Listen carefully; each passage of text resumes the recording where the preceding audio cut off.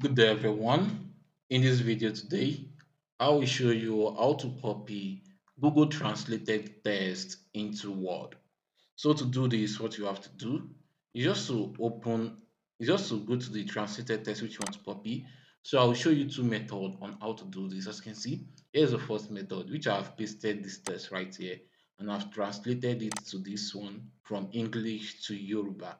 So the next step for you to do to copy this translated text what you have to just to scroll down as you can see just scroll down to the bottom of the text then you see this icon which is the copy icon right there. So the next thing for you to do just to click on the copy icon so translations copy. So the next thing for you to just to go back to your microsoft word then you paste the text which you have copied into it. So let's just do that right here.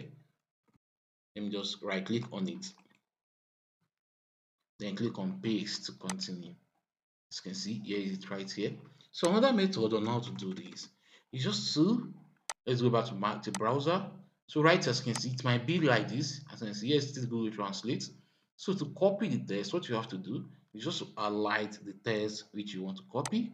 Just press press it down and highlight it. So when don't right click on it, then click on copy to continue. So when you can then go to your Microsoft Word, then go to anywhere which you want to paste the text to. So I'll be pasting the text right here right click on it then click on paste to continue.